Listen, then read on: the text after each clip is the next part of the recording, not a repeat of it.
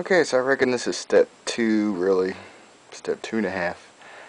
I've green stuffed him, and, you know, even after you prime him, you still find spaces you missed where you need to do stuff, and you gotta file some lines and whatnot, but I primer him white, uh, outline everything in black, like a coloring book.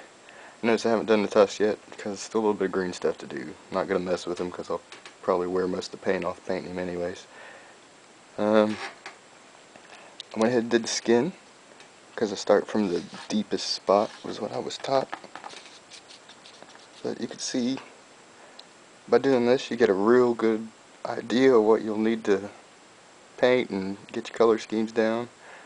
I was looking at the uh, codex of course to get color ideas. I'm, I'm not going to follow the codex, I never do anyways, I got my own colors. There's no way I could paint the details they do anyways and I'll just hate myself so. Why why even bother? I did notice that uh it's gonna probably be the I wouldn't say the hardest one I've ever done or anything but if it comes out right it is gonna be nice. I mean I got the head started. I don't outline the face before I do it. Don't ask me why. It's just a personal preference. But yeah step one and two and two and a half maybe. Alright, take her easy. Goodbye. Well, told you it was good. You didn't believe me, but now you know. So